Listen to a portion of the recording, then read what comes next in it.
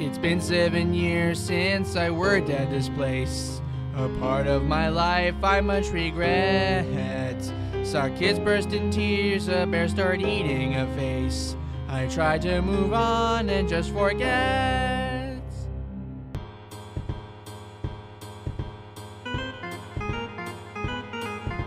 What could this be? It wasn't here before, it's bigger than me. Maybe it's a big box. Obviously, it's full of party favors. Jiggles. Ponies, Lisa. The box. Huh? Falling asleep until the phone starts ringing at six inches deep beneath the mess on my desk.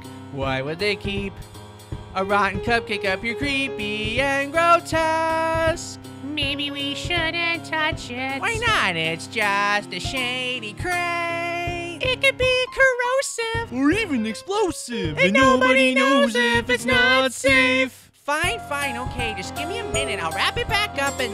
Uh oh. Ah! The camera's gone dead. And now I'm wondering if it's all in my head. it's all in your head. Bonnie is sad. It only take a minute. Maybe it took him instead. What should we do? I'm good at panic screeching. Let's look for clues. Bonnie's got to be near. Chica would ah! you? Oh, sorry. Go look inside the kitchen. Okay. How could he just disappear? Where's she going? Screen's not showing. Could have sworn the camera was fixed. Bugsy, can you help me? I need you please to tell me where Bonnie is before it turns six. Why's Bonnie here? And why is he tied up? What's the sound in my ear? It's cause the music box stopped. Chica? Oh dear.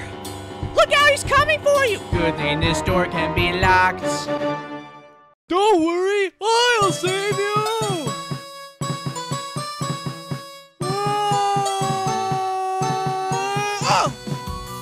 I changed my mind!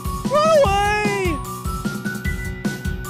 Got nowhere to run and I got no place to hide. Got no chance to fight or even pray. He's got to be stopped. He's too destructive to live. What did he say? He said, watch out for the fan. A little help would be great. My face is about to be filleted. Look, the puppet is here to send him back to the crates. Look out for his string. Oh, too late.